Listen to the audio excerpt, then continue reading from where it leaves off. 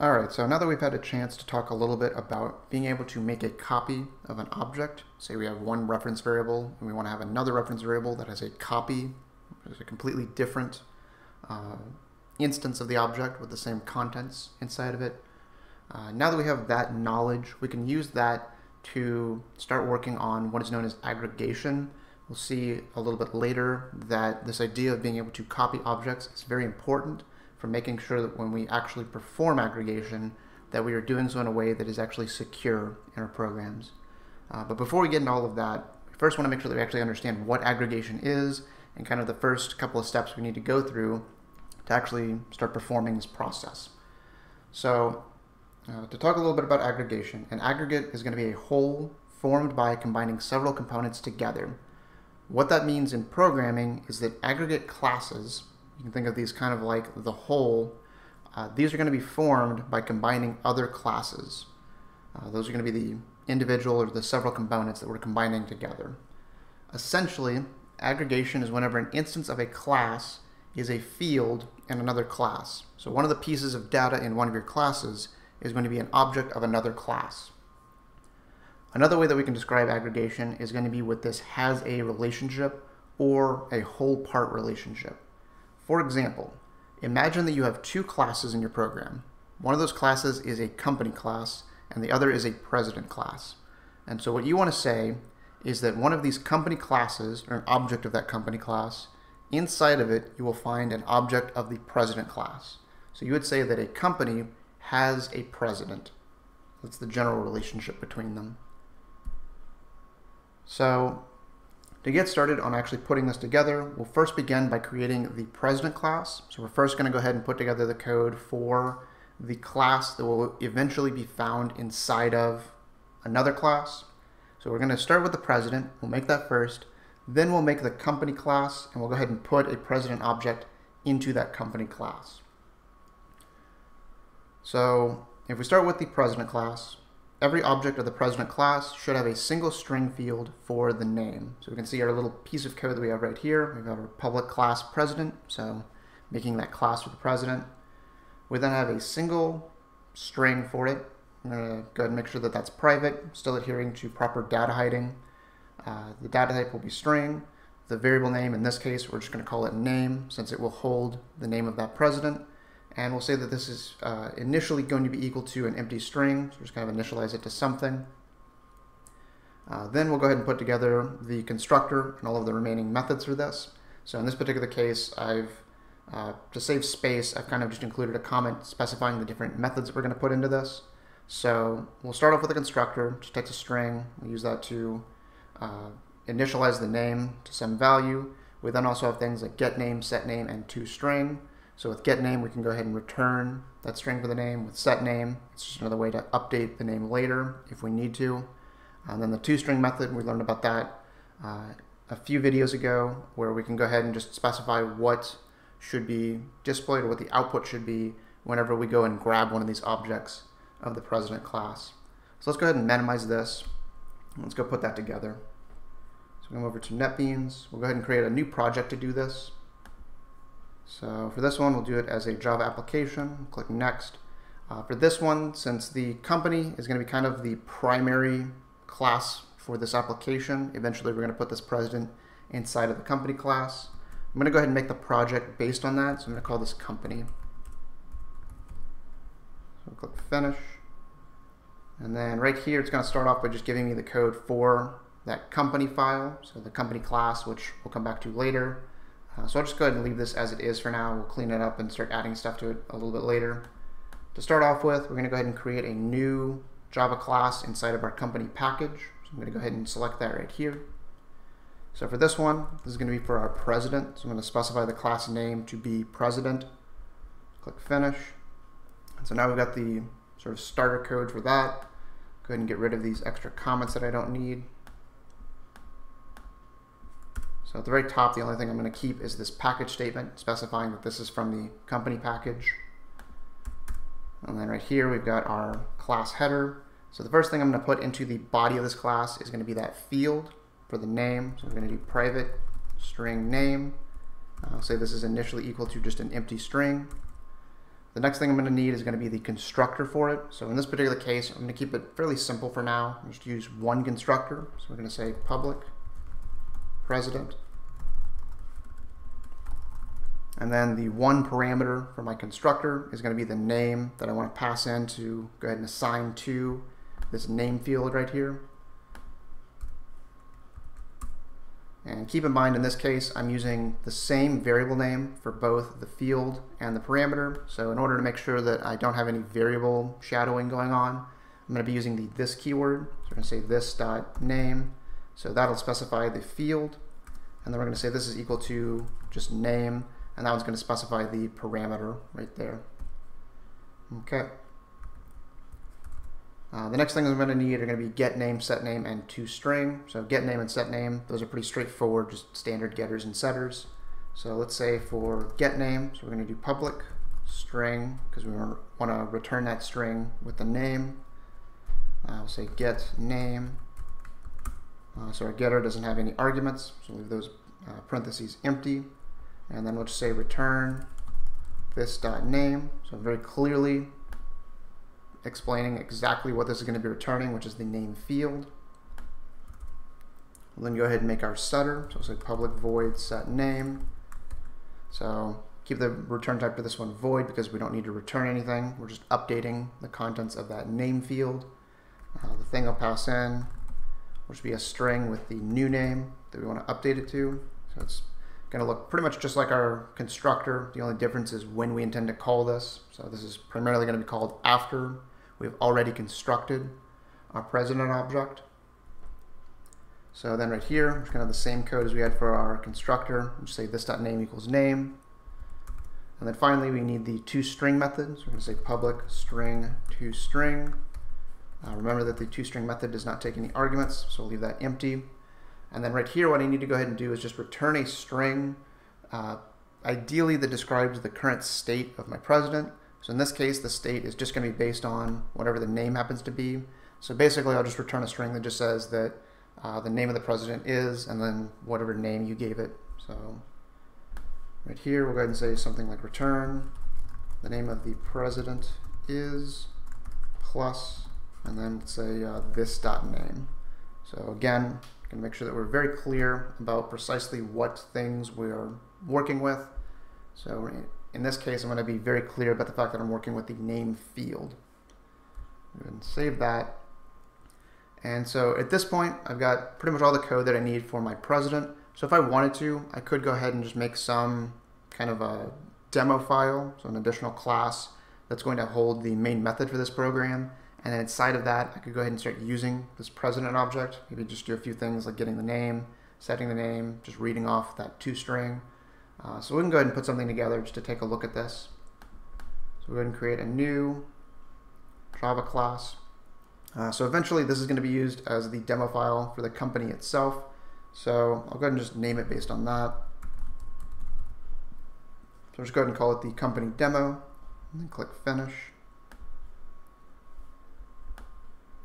Again, we'll go ahead and get rid of the extra comments that we don't need. So again, the only thing that I have at the very top is going to be my package statement, indicating again this is in the company package. Right here, we've got our class header. So this is the company demo. Uh, the next thing I'm going to need, since this is going to hold the main method, I'll need that main method header. So we'll say public static void, call it main. And then we have that string array for the arguments. And then right here in the body of this main method, I can go ahead and start adding some code to uh, construct an object of the president class, and then maybe do something, maybe call a couple of the methods on it. So let's say we create a president. We'll call this one, let's say we call it just pres. This will be equal to a new president object. And then we need to pass in a, uh, a string right here. So since we're dealing with the president of companies, and off the top of my head, the easiest one I can think of, it's not even true anymore. Uh, we'll go ahead and just use Bill Gates as a very simple example of this. So once I've created this object, if I wanted to, I could just immediately print this to the console. So we just say system.out.println. I'm going to just do pres, go ahead and save that. So if I go ahead and run this program right now, then we'll see we don't really have any issues with it. although it did not seem to run the correct file. So let's go and make sure that we run this file. There we go. So we can see the name of the president is Bill Gates. Uh, primary issue with that is that I still have a main method over here since I didn't tamper with any of this. So just to make sure that I don't have that problem again, we'll go ahead and get rid of that right now. Uh, in a moment, we're going to add more to this. I just wanted to remove the main method so that it runs the correct file. So if I try to run this one more time, I think that it will ask me, yes. So I want to go ahead and make sure that we're using the main method inside of company demo. So this little dialog is just double checking to make sure that this is where I intend to run the program from. I'm just going to go ahead and click OK. And so now we can go ahead and make sure that we're getting the uh, correct output for this. Okay. Uh, so now that we've seen that a little bit, we've got our construction of our president object. We've got a print statement to go ahead and print it to the console. Uh, let's go ahead and maybe try changing that name. So let's say pres.setName. Uh, let's say we go ahead and change this. Uh, let's say we just change it to another uh, pretty well-known president, or at least CEO. Uh, so we'll just use a really simple example and just uh, just do Steve Jobs. So then if we go ahead and print this again, because we did the set name, then we can go ahead and see that our output just changes. Okay.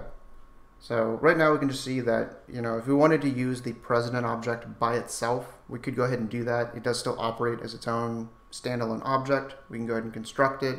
We can set the name, so we can call one of the methods on it. We can put it in a print statement and print out its contents or whatever its current state happens to be. Um, but in general, the reasoning behind aggregation is that we don't really intend to do anything quite like this. What we really want to do is put this object into our uh, company class or into an object of that company class. So we'll go ahead and come over to company now. And right here, we're going to go ahead and start adding some code. So to start off with, I'll go ahead and get this cleaned up and remove the extra comments again. Because once again, the only line that I need at the very top is going to be this package statement. Just underneath that, we'll have the header for our class. And then right here inside the body is where we're going to start adding our code. Leave it about like that. And let's go ahead and come back over here to take a look at what that's expecting. So the next thing we're going to start putting together is the code for the company class. A company object will have two fields. It will have a string field for the company's name. So keep in mind that that's different from the president's name. The company is a totally separate thing. Uh, and it will also have a president field for whoever the current president of the company happens to be. So we can see again some more code for this. We've got our uh, public class company. We've got two fields for this. So there's two private pieces of data. Uh, we've got one for the name, so that pretty much looks exactly like what we did for our president object. We've got private string name equal to an empty string. Uh, we then also have our uh, president field. So we've got private president. Again, I'm just going to call it pres, so that'll be the, the variable name for it. And this will be initially equal to null. So I'm going to start off by having it reference essentially nothing. Uh, but then later, when we actually construct it, we'll make sure that it actually references something that the user uh, provides to it. So we can see that in the constructor right here. Uh, in this case, it should say public company for the constructor. Uh, that's going to be two values. It's going to be the string for the name and then a president object called pres. Inside of the body of this constructor, we're going to have this dot name equals name, so still pretty standard. Uh, we're also going to do pretty much the same thing for our uh, for our pres object or our pres field in this case, uh, where we're saying this dot pres equals pres. I do have a comment right next to it saying that we will eventually need to improve the security of this line. So while we're going to start off writing it this way, We'll eventually come back to this and make some improvements to that. And then in addition to this, we're going to have our getters, setters, and the toString method. So the getters and setters in this case, it's going to be uh, a getter and setter for name, and then another getter and setter for pres. So let's go ahead and minimize this. We'll go get this put together. Uh, so we'll start off by creating the fields. So we've got private string name.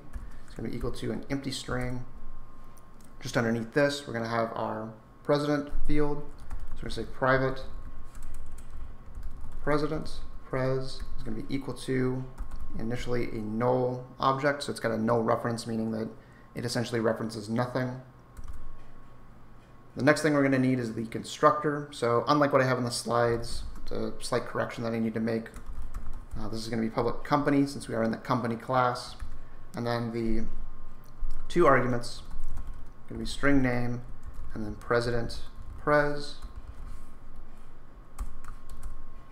And then right here in the body of this constructor, again, because I'm using the same names for both of these parameters and both of these fields, want to make sure that we're using the this keyword to avoid variable shadowing.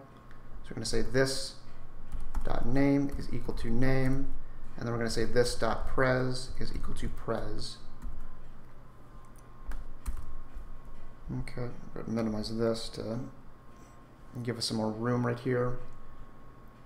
So in addition to the constructor, we're also going to put together our getters and setters. So let's do, say, a getter and setter for the name first. So I'm going to say public string get name. And for this one, we're going to go ahead and return this dot name. So this will be just like the get name method that we made for our president class. The difference here is that we're getting the name that corresponds to the company.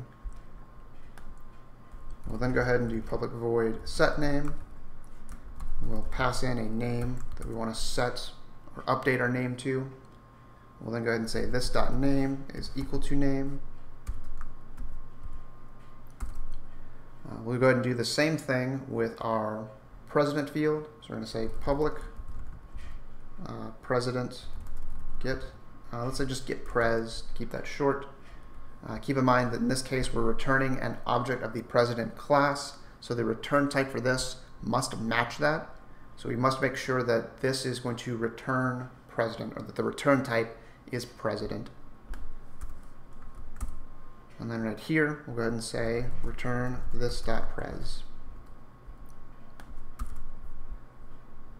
And then the last one of these getters and setters, we'll go ahead and do a setter for pres. We're going to say public void set pres. And then we're going to have our president pres. And right here, this is basically just the second half of our constructor, at least for now. Uh, eventually we'll come back to that. So for this one, we're just going to do the same thing and say this dot pres equals pres. And then after our getters and setters, the very last thing we want to go ahead and put together is going to be our uh, toString method. So we're going to say public string toString. And right here, what we want to go ahead and do is just return a string that holds the state of this particular object, in this case an object of the company class. So what we can go ahead and do is say return uh, the name of the company is plus, uh, right here we'll say this dot name uh, plus, and then right after that we're going to go ahead and have another sentence. And this other sentence, what we want to do is just say that the name of the president is, and then whatever the president's name is. But if we come back over here and take a look at this, we see that we're already doing that inside of the president. So what we could go ahead and do is append right here, this pres, and this is going to function the same way as what we did back in our company demo, where we just put the pres object into a print statement. So if I just go ahead and put, again, just put my pres object into, in this case, just the string that will eventually be printed to the console, it'll go ahead and do the same thing for me. It'll just call the toString method for the president class. So this little piece that I have right here is eventually going to be replaced with this entire sentence here. And I think just to keep the punctuation consistent now, I'm going to go ahead and add a period to this sentence as well. Okay, so coming back over here, so we've got everything that we want for this right now. So the next thing that we'll go ahead and do is go back to our company demo. We'll put together an object of the company class, give it a name, pass on a president object, and test it out from there. So right here, go ahead and put in our company. Uh, let's say that for this particular one, we want to start actually referring to our company by whatever company name we're going to give it. So if we still want to continue to use Bill Gates, uh, we'll just go ahead and say Microsoft for this. say this is equal to a new company object. And the two things I need to give it, so one of those is going to be the name of it as a string. So we're going to have our double quotes. Inside of there, I'll put Microsoft. And then the other thing I need to give it is going to be my object of the president class. So in this case, I've already made that right here. And this is the reference variable for it. So I'm going to go ahead and put that in right here. And then after I do that, I'm going to go ahead and just get rid of this line since I don't really want to interact with that president object directly anymore. I can just do that through company. And then right here, what I want to go ahead and do is just print out the state of that company object. So with this little bit of code, if we go ahead and run this, we can see that the name of the company is Microsoft and that the president of this company is Bill Gates. So if we go ahead and run this, we'll see all of that right here. The name of the company is Microsoft. The name of the president is Bill Gates. So coming back over here, to kind of summarize everything that we've put together so far, we can take a look at what is known as the, uh, the class diagram for aggregation. So we've got our two classes. You can see they're two different little UML class diagrams with their names, their fields, and their methods. Uh, one of the new things that we need to mention is going to be the uh, way that we indicate the relationship between these classes in UML class diagram. So this arrow with a diamond head is going to be used to indicate aggregation in UML class diagrams. It's going to point from the contain class to the container class. So in this particular case, we're saying that the president is inside of the company class. So if we think a little bit about what we've got right here, uh, we see that you know the entire class we have on the left-hand side, that president class, that's going to be one of the fields in our company class. So you should see that in that second box, kind of right in the middle of the company class, where we've got our string for the name, and then we've got this object that's going to be of the president class. So it's got president pres. And of course, we can also see that in the code with what we just wrote. So if we take one more look at that, we've got this whole file for our president object. So this is basically just the uh, entire implementation of what we saw with that left-hand class in our class diagram. And then coming over to our company, we see that we've got our object of that president class right here being used as one of the fields of this company class. So everything looks good so far. But as I mentioned before, there's a little bit of a problem that we have right now. So there are going to be certain rules to consider about the security issues that come with aggregate classes. So before I get into too much detail about what's going on right here, let's take a look at uh, what's happening with the current code that I've written and what kinds of problems that we might uh, run into. So go ahead and minimize this. Come back over here. So the first thing that I'll start off with is going to be with the constructor. So we've got this.pres equals pres. We're concerned a little bit with line 11. And then by extension, we're going to be concerned with our setter for the president. On line 31, we're trying to do the exact same thing. We're going to run into the exact same problem because of it. So let's find out precisely why this gives us a problem. So if we come over to our company demo, so we've taken this pres that we have right here, We've passed that in to go ahead and set it up right here. So that's going to be part of our Microsoft. So right now, if I were to run this just one more time, we can see that the current state for that Microsoft object, that company, says the name of the company is Microsoft, and then the name of the president is Bill Gates. So the reason that this line is giving us Bill Gates is because of what we have inside of this field right here. So keep in mind that we want to make sure that this field in the company class is a distinct separate object from this particular object that we created in our main method that we just happen to use to put together or to construct that company. So let's say right here, I go ahead and use my pres and I do set name and I once again change it to say Steve Jobs. I go ahead and save that so the expectation, because these are intended to be completely separate objects, is that this name will change, because that's exactly what I'm telling it to do, but the name that I have over here should stay the same, and that's going to correspond to this print statement, so this print statement should not change. So if we go ahead and run this, we see that the name of the company is Microsoft and that the name of the president is Steve Jobs. So unfortunately, what I just said should happen did not happen. And that's because on this line right here, we did not make sure that they were completely separate. Instead, we used a shallow copy. We only copied the reference. So this thing right here references this object. So this part right here where we actually constructed that object. We passed that reference into our constructor right here. And then over on this line, uh, we just took that reference and we copied that into our field. So our field just happens to have the same name, but it's also going to reference the object as well. So they're both going to point to or reference the same object. And we've now created a shallow copy. So to correct this, I want to go ahead and change this to be a deep copy, meaning that I need to make a copy of the object itself and then assign that to my field. So right here, whenever I do this, instead of setting it up in this way, what I want to go ahead and do is just take the name that is in pres, since that's going to be the only field that really matters when we call the constructor. Uh, and then I want to go ahead and actually construct this object of the president class. So what I mean by that is we need to use the new keyword. So we're going to use that new operator. We then want to call the president's constructor. And then the thing that I need to pass into it, because this president constructor is still expecting a string for the name of the president, uh, I need to go ahead and pass in whatever the name is for this particular object that I'm trying to use in this constructor. So in that case, what I need to do is say that I want to get the name of this particular object.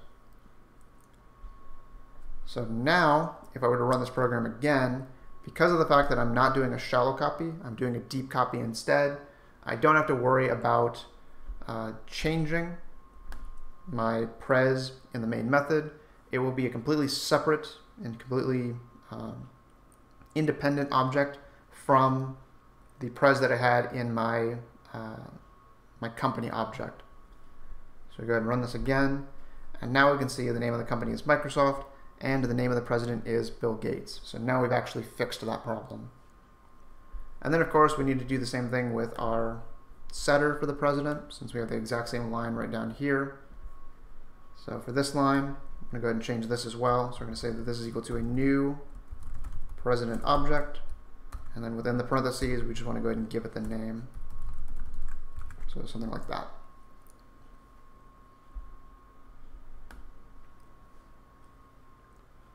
Okay.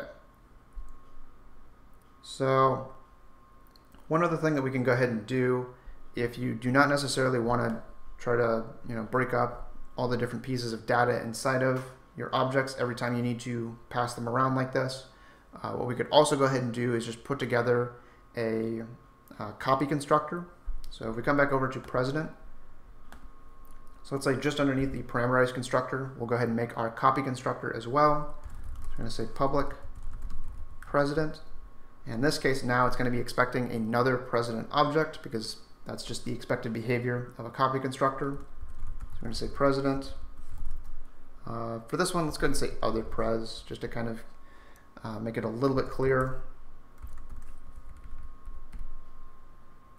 And let's say for this one, what we're going to go ahead and do is pretty much the same behavior that we just had, but now we're just going to go ahead and get it directly from this uh, other pres object that's being passed in. So we're going to say this dot name is going to be equal to other pres dot get name, or in this case just name.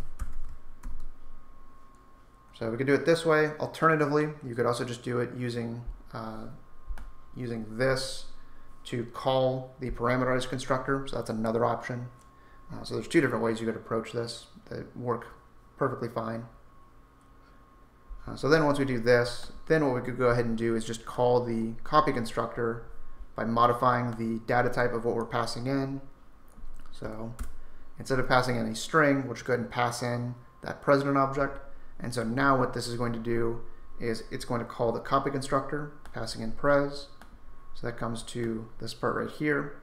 And from there, we're just going to go ahead and grab or take the name out of it and go ahead and assign it to the name for the uh, president object that's located inside of our company object.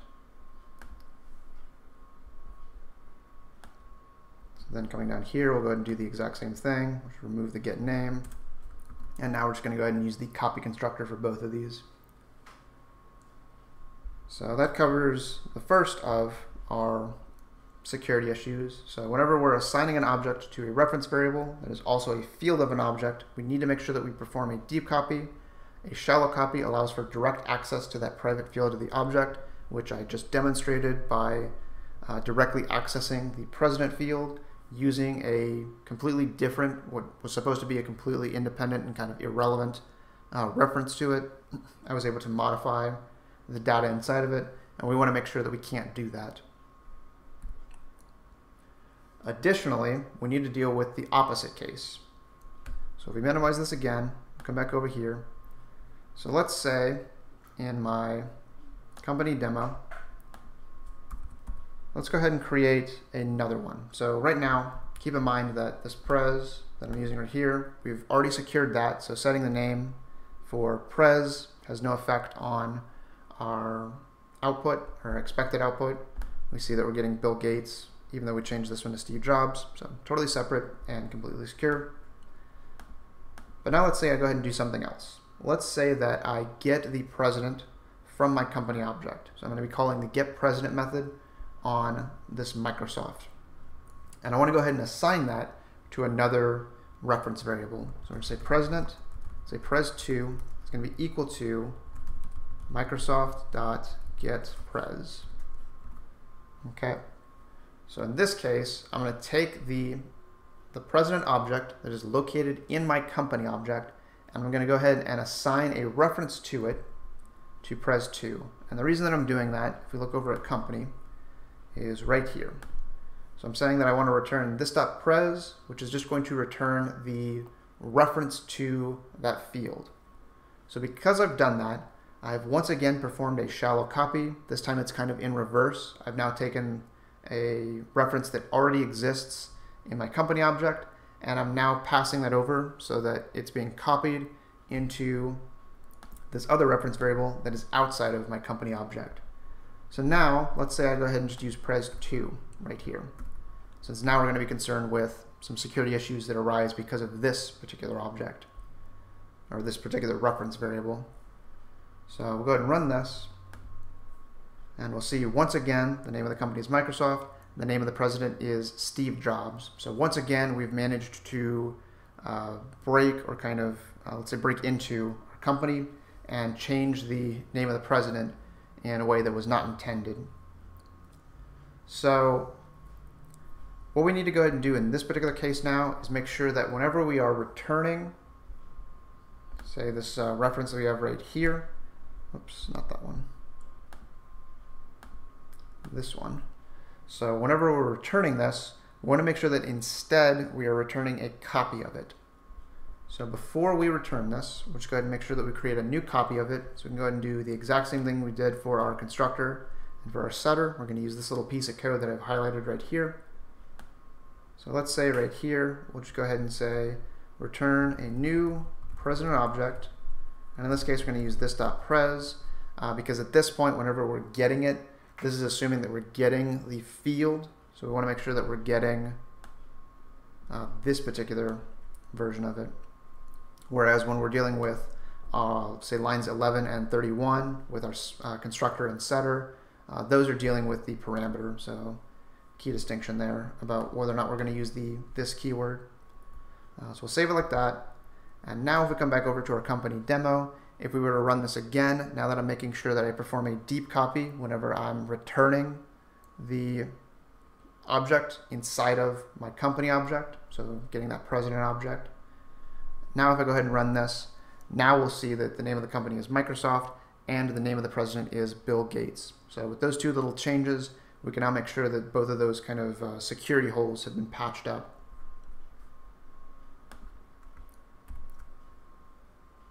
So the general rule here is that whenever you're returning a reference to uh, the object, so in this case the president, uh, such as with a getter method, you should instead return a reference to a copy of the object rather than the original object. If you return the original object, uh, again, that allows for direct access to a private field. And then one last little thing that I want to go ahead and kind of uh, conclude on. You might have noticed that the string class does not ever do any of this. So when you're dealing with objects of the string class, these rules can be ignored. The reasoning behind this is that strings are immutable, meaning that you can't really change the contents of them. So there's no possible way to have these kinds of problems.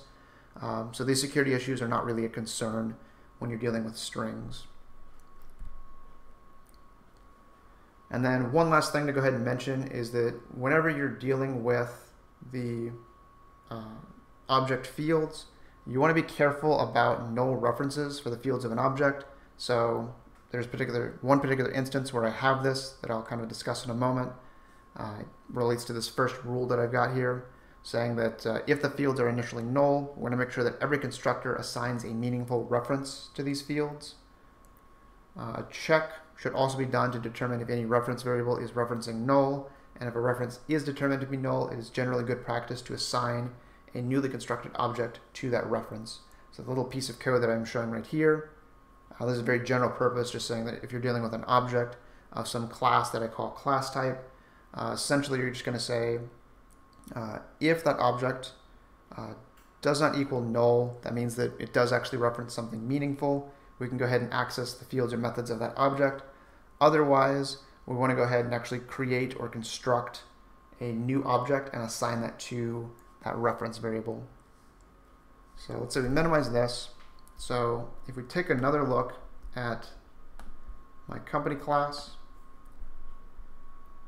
coming up right here. So this line right here is the one that I was talking about previously, where I initially set my president object to be null, but I only have one constructor in this, which is going to be for this line right here, where I make sure that something is being assigned to it. But the thing that I'm assigning to it might not necessarily be um, might not necessarily be an actual president object. Uh, it really kind of depends on the constructors that I'm using. In this particular case, because I'm using the copy constructor, and then the copy constructor goes out and tries to get a name from it, uh, this will go ahead and make sure that uh, nothing goes wrong when I'm putting it together.